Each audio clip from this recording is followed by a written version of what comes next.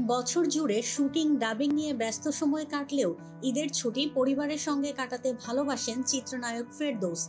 বিশেষ করে রাজনীতিতে নাম লেখানোর পর অবসর খুব কমই মেলে তার উপর রয়েছে নির্বাচনী এলাকার দায়িত্ব পালন। জনপ্রিয় এই চিত্রনায়ক বর্তমানে ঢাকা দশ আসনের সংসদ সদস্য।